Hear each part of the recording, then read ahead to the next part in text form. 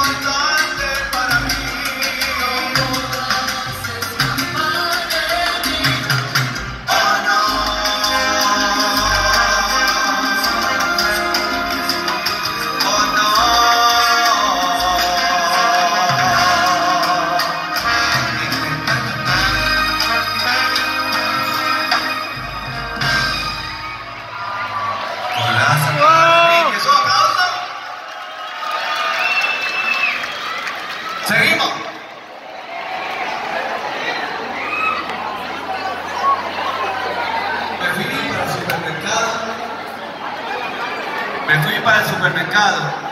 Oye, pero me di cantazo duro, ¿sabes?